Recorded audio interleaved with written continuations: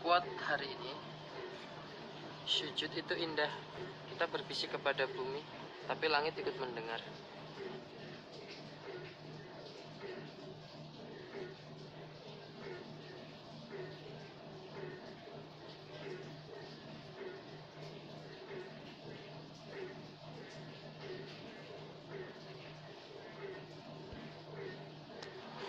Quote of the day Simpanlah ibadahmu seperti engkau menyimpan aibmu.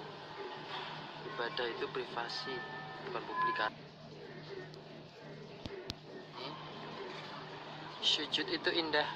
Kita berbisik kepada bumi, tapi langit ikut mendengar. Quote of the day.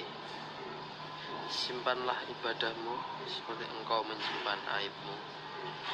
Ibadah itu privasi, bukan publikasi.